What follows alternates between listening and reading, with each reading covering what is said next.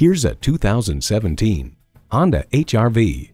With all the configurations, all that's left to figure out is where you want to go. Plus, it offers an exciting list of features.